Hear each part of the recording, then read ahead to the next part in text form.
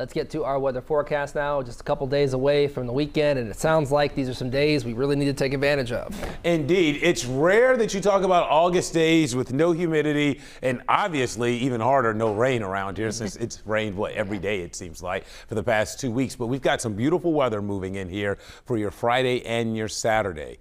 Outside right now, most of you enjoying some sunshine. We have seen an uptick in the clouds here recently, and that is because we are tracking at least a few areas of rain, and these will be around throughout the evening. It's not going to be a washout around the tri-state this evening, but don't get caught off guard by a passing downpour that may last 10 to 15 minutes. A few showers out there now as you head west out of Aurora through Dillsboro, and then you keep heading far enough west to the south of Holton, Versailles We've got a couple of downpours there in parts of Ripley County. Then take you back north along I-70, and there are scattered showers and storms that have been flaring up along I-70 and dropping south. That's because there's a cool front up here, and this cool front has ice set on the Ohio River tonight. So we'll get these spotty downpours and occasionally maybe even a storm like you're seeing up there around Connersville right now. This will drop down towards Brookville Lake, the Blooming Grove communities on out there towards Laurel and Meadow As well as Brookville,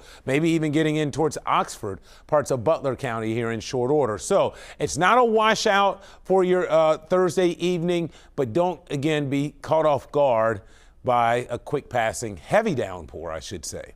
Temperatures outside right now, we are generally between 80 and 85 for most of us.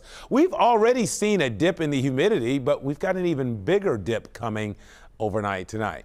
So the chance for some passing showers or maybe a storm before midnight. I don't think a lot of rain is expected out there, but between now and midnight, you could get in on a brief shower or maybe even a storm or two around the area. Temperatures will slip through the 70s. So we had that first cool front come through, you know, late last night. That's why our dew points have dropped into the 60s. So we are better than the dew points of the 70s and 80s that we've been accustomed to. But here comes the secondary cold front tonight, and behind that, dew points are down into the 50s. And once that slips through, that's the much less humid air that will be in place for the start of your weekend. It won't last, of course, because by Sunday it's probably feeling pretty sticky again around the area, but at least we're rain free for a day or two. So, very pleasant.